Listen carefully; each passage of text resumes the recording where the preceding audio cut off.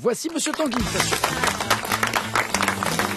Ça va les amis Très bien, et toi Ok, mais je vous réponds même pas parce que vous êtes Ah des bon humains. Voilà. Or l'avenir c'est l'intelligence artificielle. Moi je discute plus qu'avec des machines. Ce matin j'ai passé un quart d'heure avec les distributeurs de café à France Inter. Franchement, ça vaut les discussions avec Daniel Morin. Lui, quand je lui mets une pièce de 50 centimes, il râle. Oui, quitte à choisir, j'aurais préféré que ce soit dans la bouche. Ça va, quoi. ça. L'intelligence artificielle, c'est fou. Chaque image qu'on voit maintenant, on doute. Récemment, j'ai vu une photo d'Isabelle Huppert en train de rire. Ok, ça c'était gros, mais parfois on doute. Et hier, j'étais sur Internet, sur le site de la pétition pour que Vianney s'assied enfin dans les fauteuils de manière conventionnelle, initié par Monsieur Meuble et But, quand soudain je vois un article sur une influenceuse virtuelle. Influenceuse, vous voyez, hein, sont ces jeunes dames qui parlent en espérant en fait nous vendre des trucs. Elles nous la font tellement à l'envers que moi, quand je les regarde, je retourne mon ordi. Et là, c'est à propos d'une influenceuse espagnole, Eitana Lopez, qui a un compte Instagram. Elle est coach de fitness, ce qui signifie qu'elle ne ressemble qu'un peu à Jean-Michel Ribes. Elle a les cheveux roses, elle est souvent en soutien-gorge. Hein, Parce que le réchauffement climatique a, tout changé. En 72, en novembre, elle aurait enfilé un gros pull, on disait Hiro des poutailles et Mekaye les Ramones. hein. Euh, et- Eitana Lopez est, osons le mot, tant pis si ça fait boomer, désirable. Voilà, on la voit à la salle de sport.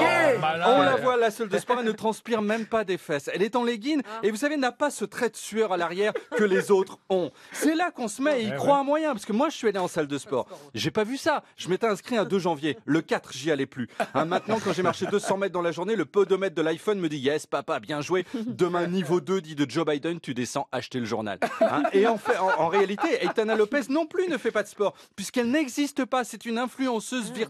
C'est pour ça qu'elle a les fesses sèches et qu'elle est sexy malgré ses cheveux roses, la coupe des gauchistes intersectionnels, qui dès que la guerre sera finie pense organiser une gay pride à Gaza avec Mélenchon au Nachar qui danse. Et ce qui est dingue, c'est qu'on a atteint le palier où on s'en fout que la personne soit virtuelle ou réelle, puisqu'Etana Lopez a 200 000 abonnés sur Instagram qui la suivent et lui parlent en commentaire. C'est comme si Marie-Ange Nardi de Téléshopping causait avec un multicuiseur.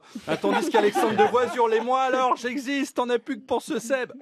Exemple, sur une des photos de la petite Lopez, un type écrit Too many closes, voilà, trop de vêtements, alors qu'elle est en débardeur échancré. Donc si elle met un gilet, elle va recevoir des menaces de mort et Darmanin veut lui prêter les gardes du corps de Elkrief.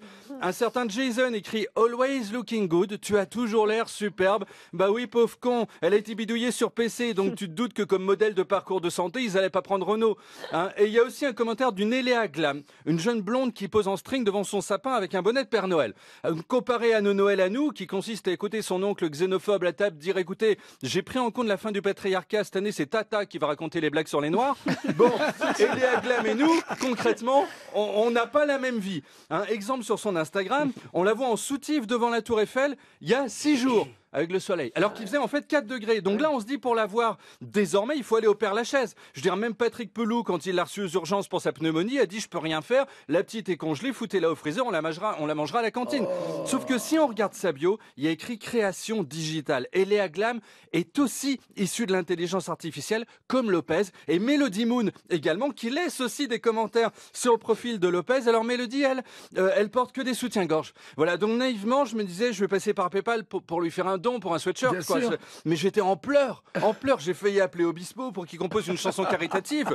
Hein, on aurait eu Grand Corps Malade en intro, qui aurait dit Mélodie, je chante cette mélodie pour toi, Mélodie. Oui, bah, parce que quand c'est du caritatif, on bricole un texte vite fait. hein, voilà. Euh, et ensuite, Chimène Badi aurait poussé la voix et, et Corinne Charby aurait dit Je suis là uniquement parce que c'est Pastureau qui est à l'origine de cette chanson. Voilà. Euh, résultat, maintenant sur Instagram, en fait, bah, il y a plein de profils générés par l'intelligence artificielle, à tel point que j'ai regardé le mien en me disant un homme physiquement aussi lisse, duquel il se dégage rien de spécial, c'est forcément du fake. Hein, voilà, je mets ce genre de phrase dans les chroniques uniquement pour qu'on me dise, mais enfin, pas du tout, quel charisme. Voilà, ça n'est pas encore arrivé, mais j'y crois. Et alors, le plus beau, c'est qu'Aitana Lopez rapporte 10 000 euros par mois à son créateur, un certain Ruben Cruz, parce qu'une influenceuse, une influenceuse virtuelle, bah, ça n'a pas de scrupules. Je veux dire, s'il faut vendre un shampoing pourri, euh, vous savez, en deux utilisations, même Assa Traoré n'a plus de cheveux, bah, elle le fait.